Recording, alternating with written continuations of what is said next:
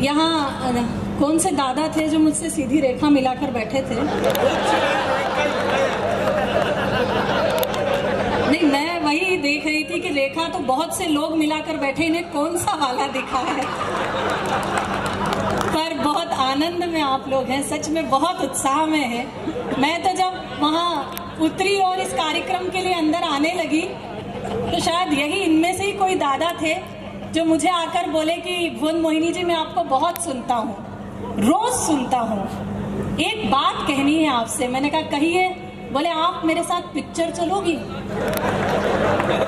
सच मानिए, मैंने उन्हें ऊपर से नीचे तक देखा, उनका आत्मविश्वास देखा। मैंने कहा, दादा, जब लाइफ में रति का एपिसोड चल रहा हो, तब जय माँ संतोषी नहीं देखी जाती। बहुत बहुत। आदरणीय कमिश्नर साहब यहाँ बैठे थे। अच्छा वो कमिश्नर जो किसी की नहीं सुनता, वो कविता भी कितनी देर तक सुनता। वो अपनी गति को प्राप्त हुए हैं। लेकिन जितने भी महनीय लोग हैं, जिन्होंने इस कार्यक्रम के लिए अपना योगदान दिया है, ये जो सेवार्थ के लिए, परमार्थ के लिए ये कार्यक्रम हुआ है, मेरा मन है कि एक बार आप सभी लोग उन लोगों के लिए तालियाँ बजाएँ जो इसके नींव के पत्थर रहे हैं। मैं बहुत बहुत उन्हें धन्यवाद, साधुवाद देती हूँ। आदरणीय सुरेश जी, अब अंतर ध्यान हो गए थोड़ी देर तो यहाँ बैठे थे। चले गए? उनका जाना ही बेहतर था। सच मानिए, इस कार्यक्रम के लिए उन्होंने मुझे इतने फ़ोन किए। पंद्रह दिन पहले से ये कार्यक्रम बुक हुआ, प्रतिदिन उनका फ़ोन आता। भुवन मोहिनी जी, आप कैसे पहुंचेंगी? भुवन मोहिनी जी, आप पहुँच तो जाएँगी। भुवन मोहिनी जी कितनी बजे तक पहुंचेगी? सच मानिए जब भी मेरा फ़ोन बजता तो मेरा नौ साल का बेटा मुझे फ़ोन ला के देता कहता मामा जी सूरत से फ़ोन कर रहे हैं। अरे अभी तो पंद्रह दिन वो ये फ़ोन करेंगे कि आप इंदौर पहुँच गई। लेकिन बिल्कुल चिंता मत करिए आप। कह रहे थे दो का गुणा कर चार का भाग मत लगा। आप उन्हें देखिए। और फिर उनकी अप्रोच देखिए।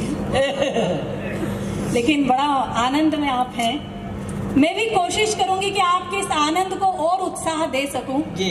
गंभीर बात गंभीर मेरे आचरण में भी गंभीरता है नहीं। मैं चंचल स्वभाव की हूँ तो बस मैं उसी चंचलता को उसी उत्साह को आपको देने का प्रयास करूँगी। कुछ पदों के माध्यम से आपसे जुड़ती हूँ। फिर। जैसा जैसा आप सुनेंगे सुनाती चली जाऊँगी। सुनिएगा। स्वागत। बावरिया शब्द आप सभी समझते हैं क्या होता है। उसी को लेकर कुछ पदों की यात्रा आपको करवाती हूँ। स्वागत स्वागत। अच्छा केशर देव जी तो इतने प्रसन्नता से बैठे हैं। जैसा उनके लिए कहा था अतुल जी ने कि मारवाड़ी आदमी इधर बैठता है उधर बैठता है इधर बैठता है। ये भी कम मारवाड़ी नहीं है। हाँ बिल्कुल रंग भी इन्होंने तो इतना पक्का पाया है। हाँ रंग भी इन्होंने इतना पक्का पाया है कि अगर ये लिम्का की बोतल भी छूले तो कोको कोला बनते उसे टाइम नहीं लगे। अच्छा इतना पक्का रंग जो पाते हैं, होली खेलने से पहले पूछना पड़ता है, खेल लिए कि खेलोगे? मैं इनको प्रणाम करती हूँ। आनंद आपका आदरणीय तो बिल्कुल आलकती पालकती लगा के बैठ गए हैं। मुस्कुरा भी ऐसे रहे कि मैं अनारकली और आप ज़िले हिलाई इसी तरीके से कार्यक्रम चलेगा। लेकिन सुनिए बहुत आनंद में आप हैं। मैं आपको और आनंद की यात्रा को दुगना करती हूँ सुनिएगा। कि हो गई हो गई रे पावरिया दुनिया हो गई रे। हो गई हो गई रे पावरिया दुनिया हो गई रे। ये तब तक गाऊँगी जब तक सबने तालियाँ नहीं बजाई। हो गई हो गई रे पावरिया, दुनिया हो गई रे। हो गई हो गई रे पावरिया अध्यक्ष जी, आप भी तालियाँ बजाइए। मैं ब्राह्मण हूँ और सारे शास्त्र पढ़े, कहीं नहीं लिखा कि जो अध्यक्ष बनता है वो ताली नहीं बजाता। तो आप भी ताली बजा सकते हैं। हो गई हो गई नहीं आज के दिन आपको इनकी तरफ़ से भी पूरी छूट है। सुनिएगा कि हो गई हो गई रे पावरिया दुनिया हो गई रे। हो गई हो गई रे पावरिया दुनिया हो गई रे। एक मीरा थी प्यार की खातिर पिया जहर का प्याला। एक मीरा थी प्यार की खातिर पिया जहर का प्याला। आज की मीरा मदिरा पी और गाती है उल्लाला। हो गई हो। गई रे हो गई रे। अच्छा आदरणीय वीडियो बना रहे हैं। आप इस उम्र में वीडियो का करेंगे? क्या मेरे समझ में नहीं सच मानिए खतरा युवाओं से कम बुज़ुर्गों से अधिक हो गया है। भूतकाल छोड़ो दादाजी वर्तमान में लौटो।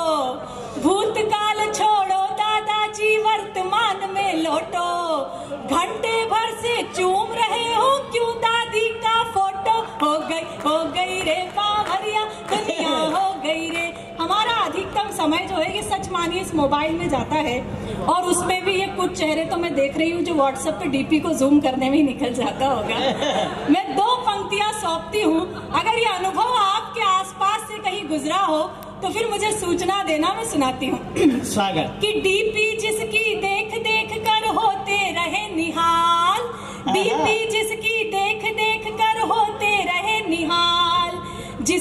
सोलह साल की समझा निकली सत्तर साल। हो गई हो गई रे पावरिया दुनिया हो गई रे। वाह, वाह, वाह। अच्छा अतुल जी इतनी बात कर रहे थे। हनुमान जी को तो मैं कुछ कह ही नहीं सकती। वो सौ जन समुद्र लांग सकते हैं उनसे मैं दूरी रहती हूँ। अतुल जी इतनी बात कर रहे थे। दो पंक्तियाँ आप मेरी सुनिएगा। हाँ स्वागत स्वागत सुनिएगा कि रात रात भर जाग जाग कर लड़की एक पटाई। अच्छा। रात रात भर जाग जाग कर लड़की एक पटाई। मिलने कैफ़े बार गए तो खुद की खड़ी लुगाई। हो गई हो गई रे बावरिया दुनिया हो गई रे। हो गई हो गई रे बावरिया दुनिया हो गई रे। ये इधर का मोहल्ला थोड़ा सा खामोश है। आप भी थोड़ा चैतन्य होइए।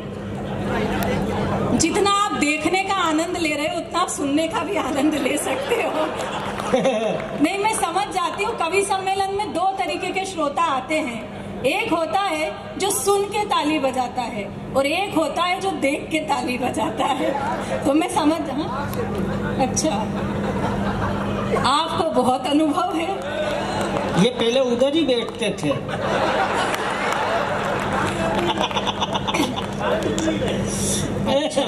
नहीं, वो जिस आत्मविश्वास से मुझे कह रहे हैं, मैं समझ रही हूँ, वो क्या है। पर आप भी मेरी चार पंक्तियाँ सुन लीजिए कि हम नीलाम हुए घर को ठिकाना नहीं बनाते। हम नीलाम हुए पहली जब आपको इतनी समझ में आई है तो चौथी और समझ में आएगी कि हम नीलाम हुए घर को ठिकाना नहीं बनाते। साफ़ साफ़ कहते हैं बहाना नहीं बनाते। और बिजलियाँ भी गिरकर जहाँ शर्मसार होती है हम ऐसे खंडरों को निशाना नहीं बनाते। देखो भुवन जी ऐसा है कि खंडर में ही खजाना मिलता है। मुझे मालूम था आप बोलोगे। बोलोगे क्या? निहत्तों पे वार करोगे तो ऐसा थोड़ी चलेगा उनका वकील हूँ मैं।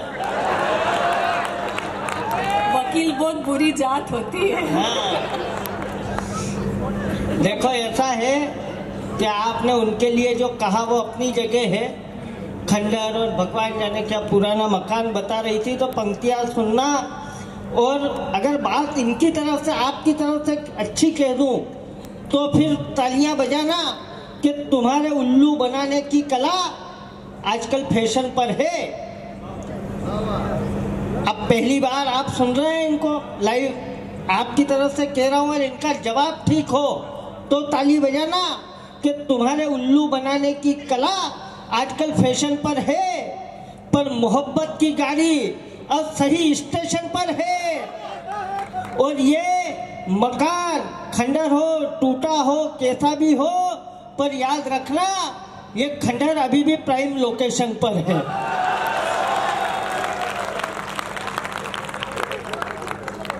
ये कह के इन्होंने भविष्य कितना सिक्योर कर लिया।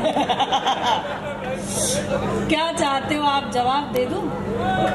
ऐसे हाँ ना नहीं मुझे ताली बजाकर समर्थन दो तो मैं कुछ बोलूँ खंडहर प्राइम लोकेशन पर हो या कहीं भी हो खंडहर तो खंडहर ही होता है। लेकिन एक बात आप मेरी भी सुन लीजिए कि लाचार पर कभी अत्याचार नहीं करती। अच्छा। ध्यान उस तरफ़। लाचार पर कभी अत्याचार नहीं करती, मारे हुए पर अपना अधिकार नहीं करती। और सब जानते हैं, भूखे रहना मंजूर है, मगर शेरनी कभी लंगूर का शिकार नहीं करती।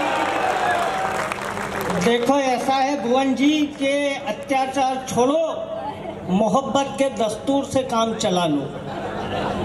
अब अगर बात ठीक हो तो फिर तालियाँ आपकी वैसी आना चाहिए।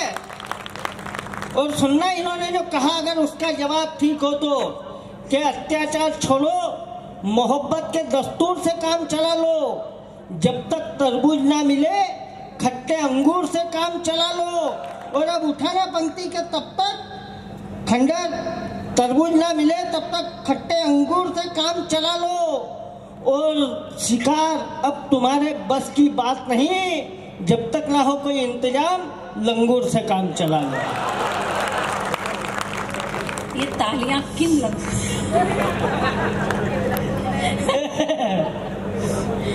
जितने भी सहयोगी थे उन्होंने तालियाँ बजाई।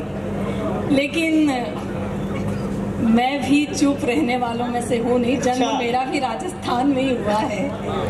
चार पंक्तियाँ आप मेरी ओर सुन लीजिए उसके बाद हम इसको विराम देते हैं। बिल्कुल। ये जिन खंडरों की पैरवी आप कर रहे हो हाँ। कि हो लाखों का काम जरा से गिफ्ट में कर ले। हो लाखों का काम जरा से गिफ्ट में कर ले ये आसमां की सैर भी लिफ्ट में कर ले और इन्हें आश्रम गुफा जेल कहीं भी रख दो। इन्हें आश्रम गुफा जेल कहीं भी रख दो। मोहब्बत करनी हो तो तीन शिफ्ट में कर लें।